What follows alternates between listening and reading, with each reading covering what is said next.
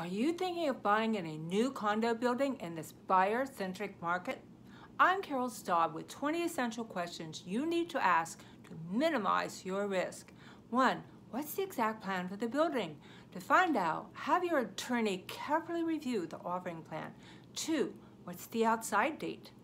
If the building isn't completed by its scheduled date, then you usually can get your down payment back. Three, what's the developer's track record?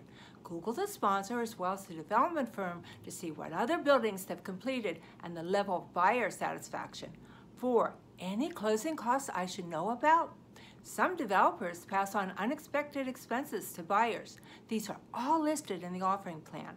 Five, is the price negotiable? Sales in 2018 fell sharply on new development. Best way to negotiate is to educate yourself and use comps to support your price. For the rest of the questions, go to carolstaub.com. Keep talking to me. I love hearing from you.